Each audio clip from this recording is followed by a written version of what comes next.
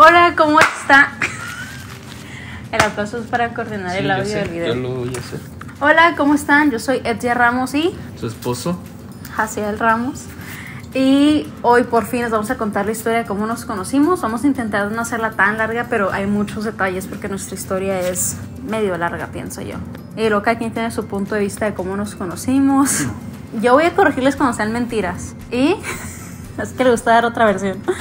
Y bueno, primero, La única versión. la primera vez que nos conocimos Fue.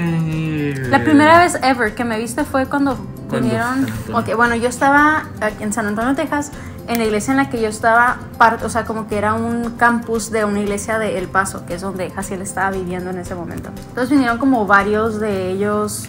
Y yo no, no sé si me acuerdo de ti, como que de ti, de verdad no me acuerdo. si- porque es que eran varios, eran varias personas. Muchos. En, sí, eran muchos en ese viaje, entonces. Bueno, como 14 más o menos. Bueno, pero pues yo no conocía a nadie.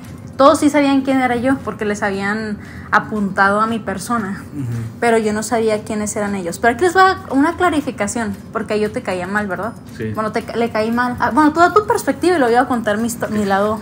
Ok, bueno, venimos a pues ayudar, bueno, fuimos. Fuimos a ayudar a esa iglesia a evangelizar, fuimos a repartir folletos, fuimos a hacer varias, varias cosas. Y nos habían dicho como que hay una, una chava que, que tiene un canal de YouTube y, y como que querían que la involucrara, involucráramos en lo que fuéramos a hacer.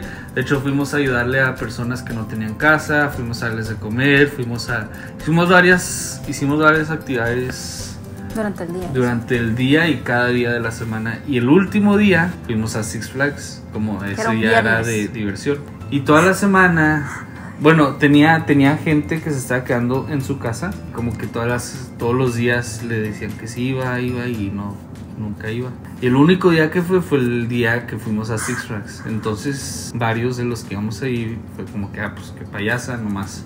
Nomás a la diversión quiere ir y desde ese día me empezó a caer mal. Ok, a mi lado. Para empezar, yo fui la que le dijo a mis papás, hey, hay que abrir nuestra casa para que gente se quede en nuestra casa. O sea, fue mi idea. Y luego, pues eso era en la parte de arriba, que era el cuarto de mi hermano. Entonces yo me encargué de limpiarlo, dejarlo lista para las chavas que se pueden quedar con nosotros. Nadie vio esto, ¿verdad? Todos me, todos me juzgaron bien feos sin conocerme. Y Yo eso- fui el primero. y eso me dolió en el corazón. Ya eso es que me enteré, dije, qué malos. Y mi otro lado es que estas actividades eran durante el día.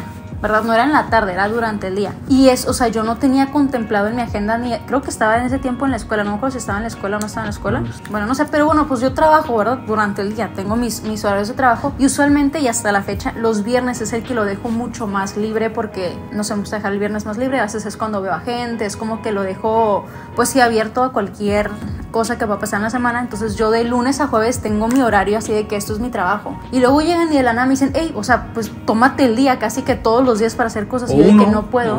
Pero yo no pensaba ir a ninguno. Entonces yo de que no, pues no puedo, no puedo, no puedo, no puedo. O sea, como que porque no me dijeron con tiempo. Si me lo hubiera planeado, tal vez lo hubiera hecho, pero yo no sabía. Y no eran en las tardes, nuevamente no había nada en la tarde, era durante el día que yo no podía. No, en las tardes era todo el Claro día. que no. Sí. Bueno, y aparte yo no, no manejaba en ese tiempo también. Y llega el viernes, me dicen lo de Six Flags y yo de que no. Yo, mi primera respuesta fue no. Y mi mamá de que ándale, ve, conoce a la gente, aprovecha. Mi mamá estaba ahí duro y dale que ándale, ándale, ándale, ándale, ándale. También los chavos de que sí, sí, sí, sí, ve, ve, ve. Y de tanto que me insistieron, yo dije, bueno, pues está bien porque ese día nuevamente es el día que más libre lo tenía. Ah, o sea, no querías ir todavía ese día. Fue como que yo, ah, sí, Mm, Six O sea, no se quería involucrar con la gente. No, porque pues igual yo no había ido a nada y luego también yo no me subo a ningún juego, entonces tampoco, ah, la diversión, no me subo a ningún Y juego. iba a ir gratis también. Pues, no- pero nada más fui, ya, o sea, yo nada más fui como porque dije, bueno, o sea, realmente, Todos pagamos. pero bueno, entonces para mí fue como que realmente ya al final fui, no porque realmente quisiera, pero mi mamá me dijo como que, pues, conocer a las personas y de que, bueno, pues está bien, pero dije, de haber sabido que me iban a juzgar, pues tampoco iba, para que tuvieran estas actitudes horribles No sé quién más te juzgó. Yo sí. Yo fui, yo soy el primero. Pero bueno, entonces ahí ya empezamos mal. A yo no le caía bien. Pasa como un año. Y pues me vine para. Bueno, me fui para San Antonio a vivir en San Antonio. para ir a ayudar a esa iglesia en la que yo Para iba. ir a ayudar a esa iglesia en la que ella iba. Hay mucho que no nos acordamos el timeline exacto, Ajá. pero, Pero, bueno, eh, me vengo, me vine, me fui, me fui a, a vivir a San Antonio. me fui con el plan de servir en la iglesia eso. Y en ese, en esos, en ese transcurso me hice novio de esta chava, persona. Individuo. Y luego, la verdad, pues corté luego, luego, al mes. Pero en ese tiempo, pues yo estaba acá en San Antonio y realmente nunca No, nos porque cuando él, hablamos. cuando él se mudó, se mudó él con otra chava y una pareja con un matrimonio, Abraham y Vanessa, que los han visto de vez en cuando por acá. Eh, y sí, o sea, pero para mí, o sea, mí ya pues yo lo ubicaba de vista porque era una iglesia súper chiquita, iba empezando, o sea, muy así, pero jamás ni nos introdujeron y luego pues bien penoso mi marido y realmente, o sea, nunca coincidimos en hablar ni nada, o sea, como que yo pues lo ubicaba, sabía quién era y luego fui muy pocas porque en ese tiempo estaban los adolescentes y los jóvenes juntos y yo fui como una o dos veces y yo me sentía bien como que rara porque eran, o sea, había niños de 11, 12 años y yo pues ya estaba veintitantos, o sea, me sentía como que, ¿qué estoy haciendo aquí? Me sentía súper rara, entonces yo dejé de ir. Al poco tiempo aparte yo tuve una relación no muy sana, entonces también me alejé todavía más de, no de la iglesia, pero como que donde hubiera hombres para evitar como que issues por ahí. Pero en ese inter, una vez, y esto es donde le encanta decir otra historia. Sí, eso fue en No, amor, porque a mí sí me metiste, eso me metió en problemas. Eh, Esto fue en un marzo. Yo estoy en El Paso, en una conferencia de hombres. Ay, Y recibo un texto, número desconocido, número de San Antonio yo aquí. Y me dice, ¿qué me dijiste? Hola, soy Jack con una carita feliz. Yo que, pero hola. no quedó hasta ahí, amor. Te dije todo el mensaje. En ese tiempo, era como que, primero, ¿por qué tiene mi número? O sea, yo no se lo di, ni nunca he hablado con ella. ¿Por qué tiene mi número y por qué me manda una carita feliz? No sé, yo sé que habían intenciones ahí. Amor, no diga amor. Es que, ok, déjame contar mi lado porque además a hacer ver mal. Lo que pasó es que en esos, en ese tiempo, los miércoles creo que eran, habían tiempos de oración en la iglesia. Me acuerdo que se acaba y los pastores se acercan y me dicen "Hey, nos gustaría que tú des la bienvenida con Jaciel. Y yo de que, porque jamás nos habíamos hablado ni nada. Y pues cuando tú das una bienvenida, interactúas con la otra persona. Es como que hay una dinámica con la otra persona. Y yo de que jamás en la vida ni lo he hablado, ni le he hablado ni nada. Entonces no me acuerdo si le pedí un teléfono y a Ana, la esposa del pastor, o a Vanessa. Una de dos se los pedí. Me lo dan y yo pues le escribo, ¿no? Como que, hola, Jaciel, soy Etia. Y me dijeron que nos, nos va a tocar dar la bienvenida juntos. Y pues para ponernos de acuerdo quién va a decir qué. Y es que me enojo porque, o sea, a mí, el novio que tenía en ese momento, sí, o sea, me acuerdo que hasta me hizo FaceTime y me dijo, enséñame tu teléfono. Y que porque te ha puesto una carita que te está coqueteando. Y no es cierto. ¿Quiénes me conocen? Amor, stop. ¿Quiénes me conocen? Yo soy muy en todos mis mensajes, soy así. Digo, ya después de eso, pues sí me traumó y ya no pongo emojis porque no Yo sé qué me interpretar qué. tú les pediste que si yo podía hacer. Claro que, ay, contigo. claro que no, nada que ver, pero bueno, ya que me, me da PTSD, amor, pensando en esto, me, me empieza la ansiedad. Pasa eso, le mando mensaje, nos ponemos de acuerdo porque era como que los niños, bueno, eran varias cosas y era como que quién va a decir que. Llega ese domingo, me acuerdo que estás poniendo un letrero con Abraham, no sé, uno de bienvenidos o no sé qué. Sí, sí. Y ya llega, me acerco como que, oye, ¿podemos hablar? O algo te, te- me acerqué. De la iglesia. y eso sé que luego nos ponemos de acuerdo. Es que yo me pongo bien estresada. Yo como que de qué lado y luego los micrófonos como que me estreso. Si lo hago yo sola, puedo. Pero ahí era como coordinarme con alguien más que no conozco. Entonces yo siempre pongo nerviosa. De hecho, al final de cuentas lo dijimos mega mal. Porque nuevamente no había esa... Para 15 personas que estaban ahí. Pero bueno, dijimos eso y luego jamás en la vida nos volvimos a hablar.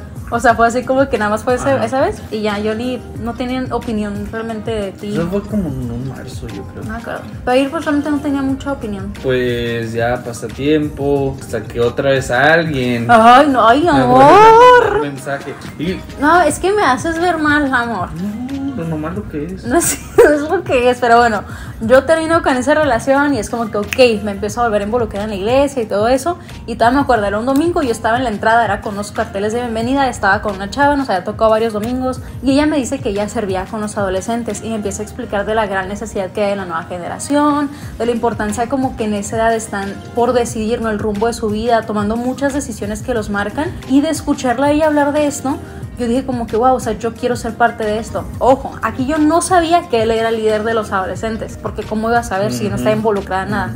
¿Cómo iba a saber? Y esta chava me dice, no, pues habla con Jaciel, él es el encargado de eso. Y yo dije, ah, no, pues está bien. Y pues sí, le escribo y le digo como Otra que... vez, segunda vez que me escribe. entonces le escribo yo de que, no me acuerdo qué te dije, pero algo le dije como que me interesaba, si yo te escribí primero, o tú me escribiste y me dijiste que Andrea te dijo que está interesada en los adolescentes. ajá. ¿Ves? Estás bueno, a lo no mejor me como que, yo creo que tú estás interesada en mí, algo así.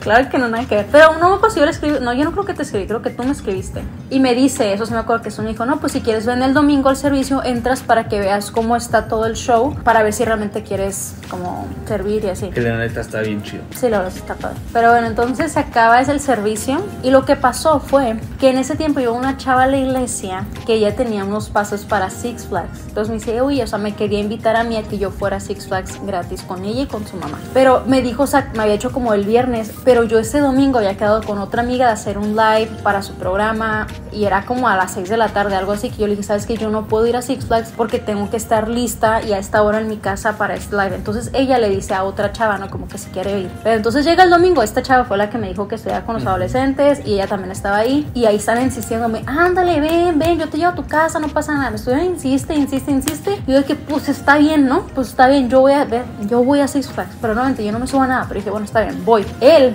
estaba ahí presente, tenía el pase, no sé cómo terminó yendo a Six Eh, Flags ok, también. yo tengo que A contar porque ese fin de semana mi hermana con su esposo y sus hijos estaba en San Antonio, pero el, el domingo habían ido a San Marcos o no sé dónde, iban a regresar. O sea, todo ese fin de semana yo me la pasé con mi hermana. Mm. Pero en, saliendo de la iglesia ellos no estaban en San Antonio, estaban en como a, Ah, los estabas esperando. a horas de ahí para, porque fueron, no sé qué fueron, a- de compras o algo, y los tenía que esperar a que regresaran para irme con ellos, y yo iba a comer con ellos, entonces no podía irme a comer y no podía como que hacer planes con, con nadie más, Pero es que no sé cómo terminaste siendo tu invitado a Pues- Six Flags. porque todos me quieren.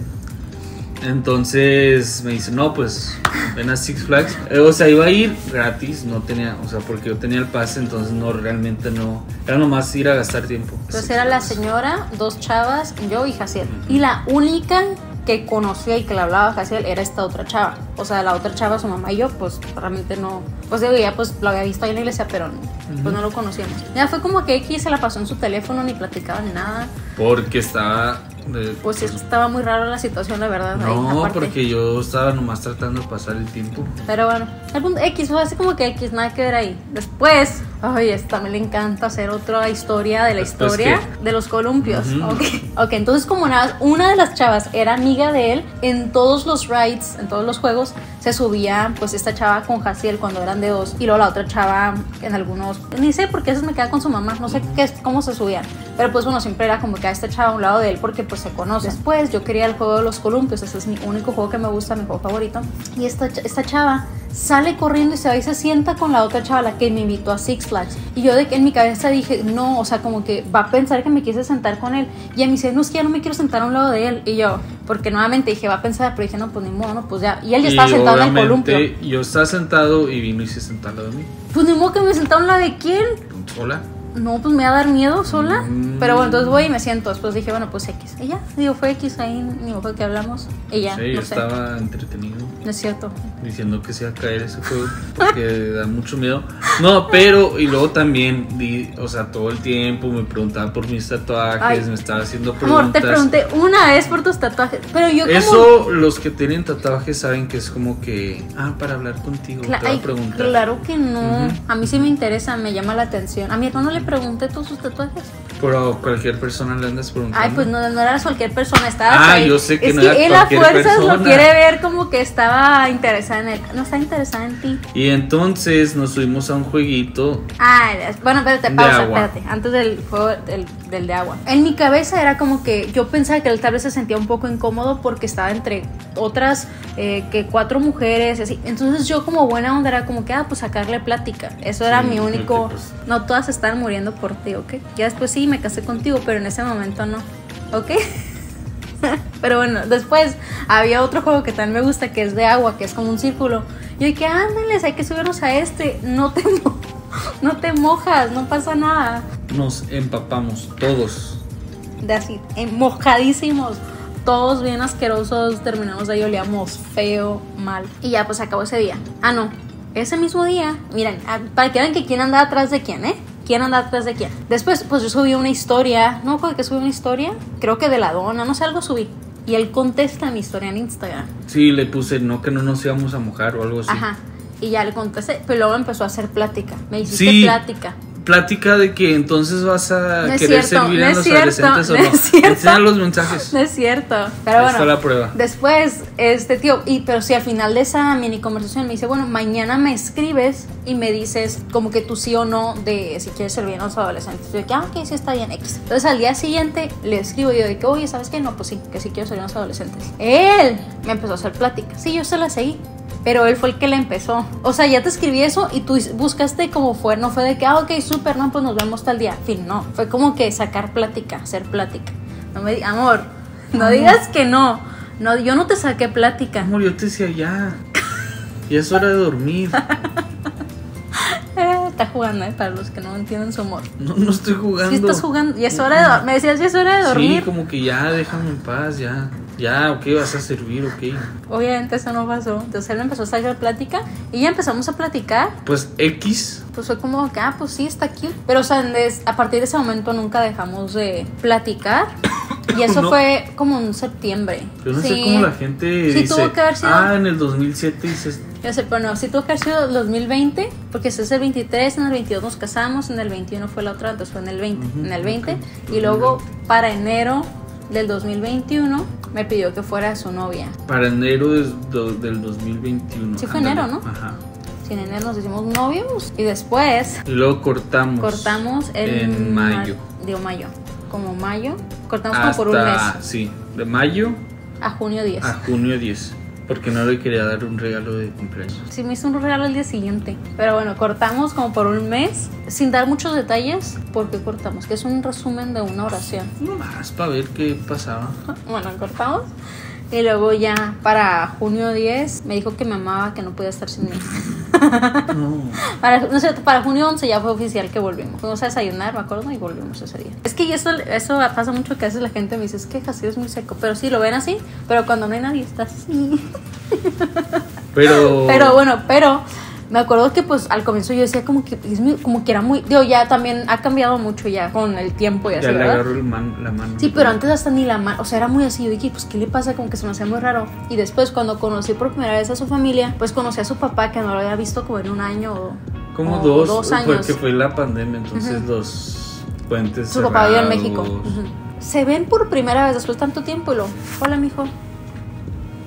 Y yo, y ahí comprendí todo, porque, o sea, mis papás a veces me ven en una semana luego, Pero ni es así. Ay, mi chiquita, Fue- te yo- extrañamos. Yo le hago así a mi papá.